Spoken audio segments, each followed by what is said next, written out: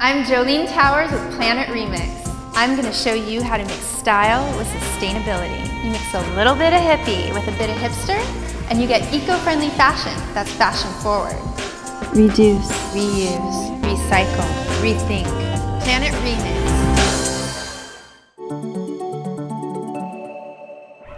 Deborah, you like to use what you call reincarnated fabrics. Tell me what you mean by reincarnated. Well, I started to call them reincarnated because some people didn't quite understand what I meant by recycled. So I just renamed it for my own um, amusement, actually. Ah, let's see some of your recycled reincarnated fabrics. Okay. The skull has been amazingly popular. Made out of recycled cashmere? Yes, look amazing on you. Are there any uh, other materials besides cashmere that are recycled that you use? Um, I use some recycled lace, mm -hmm. um, wool, kimono, sari fabric um, silk scarves. Here's another recycled material. It's um, wool, recycled wool that is hand beaded. Mm -hmm. It's from a vintage sweater from the 40s. And so what I did here was make a bustier dress. Um, in cashmere and wool. It's beautiful and it's soft too. Mm -hmm. Yeah. I want to see some of your more sustainable new fabrics. Okay. Tell me about some of those. Peace silk Peace silk. Peace. Like peace. Yes. Nice.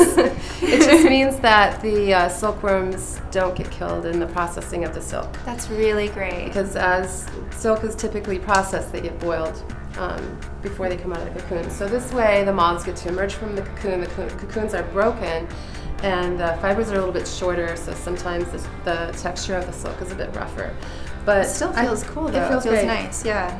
Ooh, cute. Here is another peace silk um, dress. It's a drop waist dress with um, some pleats. And this is recycled suede and then recycled um, metallic leather. Very nice. I think that peace silk is my new favorite fabric. I love it. I love it too. Yeah. Deborah has mastered making eco fashion sexy, which I love, with her beautiful corsets. Let's see some of your corsets. Uh, this one is um, made of vintage kimono fabric and it's um, all hand embroidered. Uh, these were really some of the first ones that I made, were the ones with kimono fabrics and then sari fabrics. And then this year I decided to do some out of cashmere as well. That? This is also a cashmere bustier, little tiny.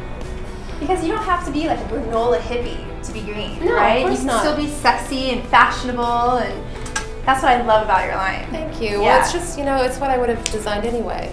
The only thing that I did was, you know, I still designed what I designed, but I replaced the fabrics I may have used with green fabrics. So you also do wedding gowns? I do. I do special occasion um, dresses and I do, you know, custom wedding dresses. Oh great, so you get an eco-friendly wedding gown. Exactly. And feel good about it. Yes. So this is one of Deborah's green wedding gowns. What is this dress made out of? Uh, the fabric is a um, vintage table linen so wow, this, this was used to be a tablecloth? Yes. Wow. And the lace detail on the top of the bustier is organic cotton. And then the shrug that I made to go with it is made of vintage cashmere. Thank you so much for giving me a tour of your studio. I really love all of your clothes. You're welcome. It was a pleasure having you here.